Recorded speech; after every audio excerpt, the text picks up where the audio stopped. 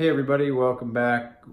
Pest Experts going to talk to you a little bit about a carpenter ant and their nesting frass material. We get the question quite a bit with carpenter ants when they see the actual frass, the wood shavings that come out from where they nest. And that's a telltale sign that the nest is nearby.